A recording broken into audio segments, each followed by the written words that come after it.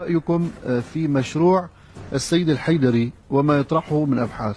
والله يا أخي الكريم أنا أحترم كل العلماء وأحترم سماحة السيد الحيدري وأحترمه في في طروحاته. ولا إشكال بأنه لا يوجد شخصان في هذه الدنيا ينطبق رأيهما مع بعضهما البعض 100% لابد أن يعني يتفقا في موارد ويختلفا في موارد أخرى. لكنني أحييه على شجاعته في إظهار الحق وفي إظهار يعني ما فسد من من الدين وما زور من الدين في زمن قل فيه المصلحون وندر فيه الذين يتشجعون لقول الحق والحقيقة. وبكل الحالات سواء وافقتموه أو خالفتموه عليكم أن تحترموه وتحترموا علمه وتحترموا موقعه.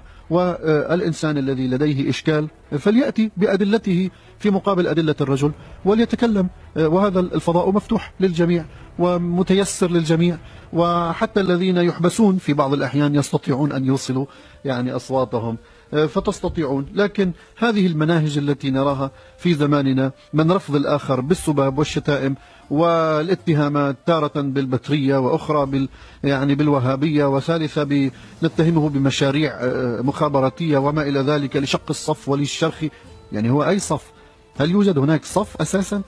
إذا لم نكن متوحدين على ولاية أهل البيت سلام الله عليهم. فالاختلاف البسيط يعني يعني بين عالم هنا وعالم هناك يعني شق الصف ولا بد أن يكون هناك مخابرات. ما هذا التفكير؟ هذا يعني أننا لا نملك حجة ولا دليلا ولا برهانا في مواجهة الرأي الآخر. عليكم أن تقبلوا الآراء الأخرى. في زمن الإمام الصادق عليه السلام كان هشام بن الحكم ويونس بن عبد الرحمن وفلان وفلان من أصحاب الإمام الصادق يختلفون في آرائهم. وما وصلوا إلى حد التكفير.